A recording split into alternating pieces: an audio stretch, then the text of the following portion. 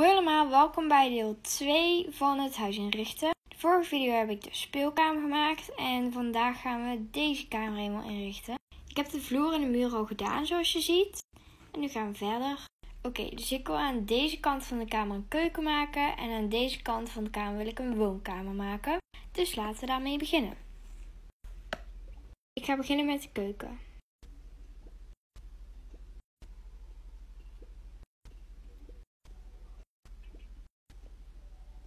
De keuken is af. Hier heb ik gewoon een uh, tafeltje met een plantje erop, zodat het iets gezelliger is. En dan is hier gewoon de keuken eigenlijk. Met heel veel kastjes. En dan op tafel heb ik alvast neergelegd, zodat het er wat uh, ja, gezelliger uitziet. En dan is dit helemaal de keuken. Het kan zijn dat hij straks misschien iets anders eruit ziet. Laten we doorgaan naar de woonkamer.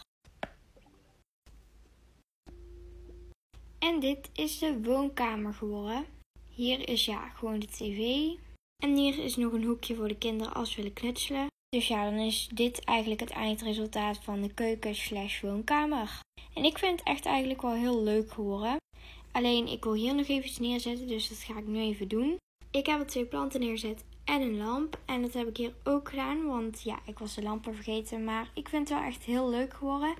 Dus tot het volgende deel, want in het volgende deel gaan we deze kamer doen. Dus doei!